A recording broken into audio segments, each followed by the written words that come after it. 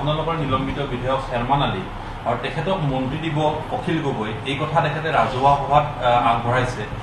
আজি বাতৰি কাকতত পঢ়িছোঁ মই।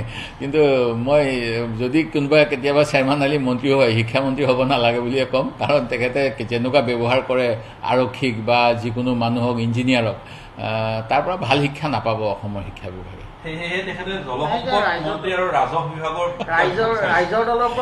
জলসম্পদটো তেখেতক দিয়া উচিত নহয় কাৰণ তেখেতে বহুত ব্যৱহাৰ বেয়া কৰে।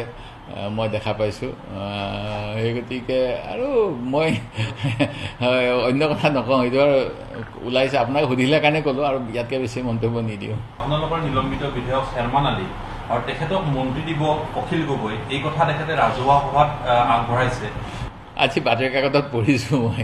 কিন্তু মই যদি কোনোবাই কেতিয়াবা চেয়াৰমান আলী মন্ত্ৰী হয় শিক্ষামন্ত্ৰী হ'ব নালাগে বুলিয়ে ক'ম। কাৰণ তেখেতে যেনেকুৱা ব্যৱহাৰ কৰে আৰক্ষীক বা যিকোনো মানুহক ইঞ্জিনিয়াৰক তাৰ পৰা ভাল শিক্ষা নাপাব অসমৰ শিক্ষা বিভাগে। সেয়েহে তেখেতে জলসম্পদ মন্ত্ৰী আৰু ৰাজহ বিভাগৰ ৰাইজৰ ৰাইজৰ দলৰ পৰা মন্ত্ৰী হোৱাৰ জলসম্পদটো তেখেতক দিয়া উচিত নহয় কাৰণ তেখেতে বহুত ব্যৱহাৰ বেয়া কৰে।